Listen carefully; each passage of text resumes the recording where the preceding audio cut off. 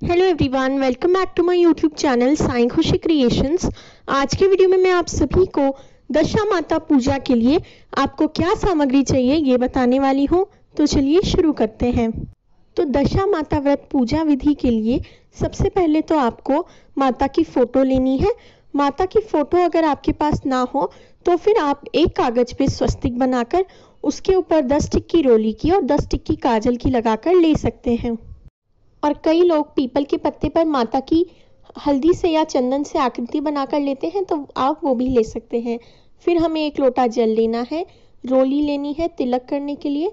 हल्दी लेनी है हमें क्योंकि डोरा लिया जाता है तो उसे रंगने के लिए हल्दी लेंगे, या फिर आप हल्दी की गांठ भी ले सकते हैं, जो होली को हम जल दिखाकर लाते हैं। इसके बाद हमें माता को भोग में अर्पित करने के लिए गुड़ चीनी, बताशे या फिर मेवे लेने हैं। इसके बाद हमें हलवा लेना है, जो शाम को आप माता को अर्पित करेंगे और अपना व्रत खोलेंगे। हलवा या कोई भी मिठाई आप ले सकते हैं। उसके बाद आपको माता को चढ़ाने के लिए श्रृंगार लेना है। तो इस प्रकार से पैकेट बना हुआ आता है, वो श्रृंगार का पैकेट। और कई बार उसमें प्लास्टिक की चूड़ियाँ आती हैं, इसलिए आप अपने घर से चूड़ियाँ रखें और उन्हें मोली में बाँध कर ही रखें। इसके बाद हमें चावल लेने हैं और एक दीपक लेना है।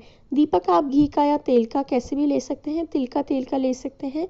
इसके बाद हमें मोली लेनी है और कच्चा सूत हमें लेना है, जिससे हम डोरा बनाएँगे। इस प्रकार का दस तार का, दस गांठों का डोरा बनाया जाता है तो वो बनाने के लिए हम कच्चा सूत लेंगे। इसके बाद जो सामान हमें लेना है, वो है कुछ फूल आपको माता की पूजा के लिए कुछ फूल लेने हैं तो जो भी फूल आपके पास हो, वो फूल आप पूजा के लिए ले सकते हैं।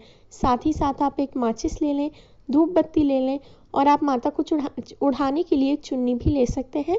इसके बाद अंत में दक्षिणा लें। कहानी की किताब हो तो वो भी आप लें, क्योंकि दस कहानियाँ सुननी होती हैं। इसके बाद हम माता के गहने लेंगे तो कुछ इस प्रकार से आटे और हल्दी मिलाकर गहने और माता के खेल खिलौने मैंने बनाए हैं तो वो हम लेंगे। इसका वीडियो भी आपको मेरे चैनल पे मिल जाएगा। तो वीडियो अच्छा लगा हो तो वीडियो को लाइक करें, मेरे चैनल को ज़रूर से सब्सक्राइब करें। Thank you very much for watching